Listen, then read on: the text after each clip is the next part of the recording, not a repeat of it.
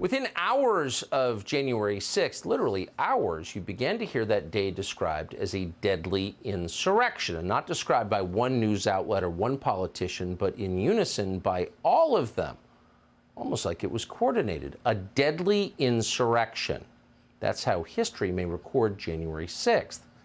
But the tape that we reviewed from within the building on that day proves it was neither an insurrection nor deadly. Here it is. January 6th, when an estimated 2,000 rioters breached the Capitol building, causing the deaths of five police officers. Certain dates echo throughout history.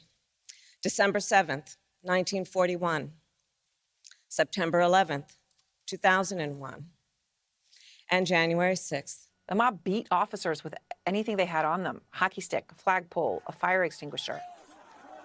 Police officers died. Donald Trump supporters, who, of course, rioted and killed police officers. By the evening of January 6th, the Democratic Party and its publicists in the national news media had settled on a description of what had happened that day. They distilled an enormous number of highly complex events, events that even now we don't fully understand, into a single emotionally laden political slogan, which they've repeated for years with remarkable discipline.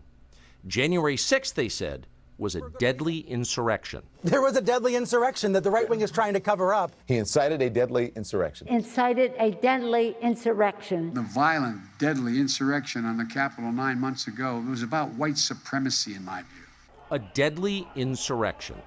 Everything about that phrase is a lie. Very little about January 6th was organized or violent. Surveillance video from inside the Capitol shows mostly peaceful chaos. But the slogan worked. The term deadly carries enormous emotional power, which is why they used it. To prove the insurrection was deadly, propagandists pointed to the death of an officer called Brian Sicknick. The mob killed Officer Brian Sicknick. That's what they said. It was their single most powerful indictment of the January 6th protesters and of Donald Trump and of Republican voters nationally. They repeated that claim for years. They are still repeating it. At first, they told the country that Officer Sicknick was murdered with a fire extinguisher. Officer Brian Sicknick died after being hit in the head with a fire extinguisher during the fight. That story came from the New York Times, which is effectively the assignment editor for most of the rest of American media. It was a lie, untrue in any way.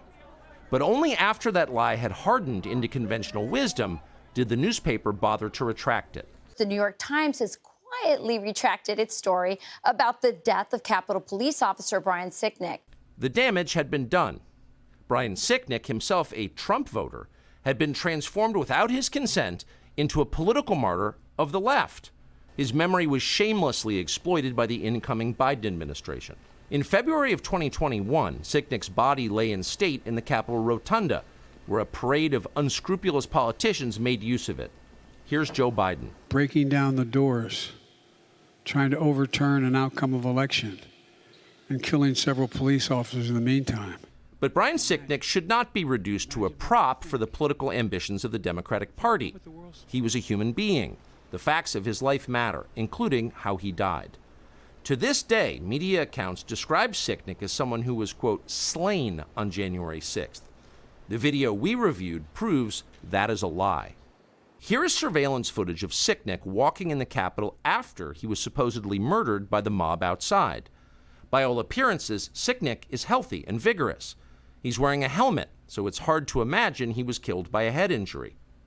Whatever happened to Brian Sicknick was very obviously not the result of violence he suffered at the entrance to the Capitol. This tape overturns the single most powerful and politically useful lie the Democrats have told us about January 6th and it was indeed a lie. The January 6th committee knew perfectly well that Brian Sicknick was walking normally through the Capitol after he was supposedly murdered by Trump supporters. And they know that because they saw this tape. We can be sure because the footage contains an electronic bookmark that is still archived in the Capitol's computer system. That means that investigators working for the Democratic Party reviewed this tape. They saw it, but they refused to release the tape to the public. Why? Because this tape would shatter the fraud they were perpetrating on the country. Because hiding the truth served their political interest. They lied about the police officer they claimed to revere. If they were willing to do that, then their dishonesty knew no limits. Subscribe to the Fox News YouTube channel to catch our nightly opens, stories that are changing the world and changing your life. From Tucker Carlson tonight.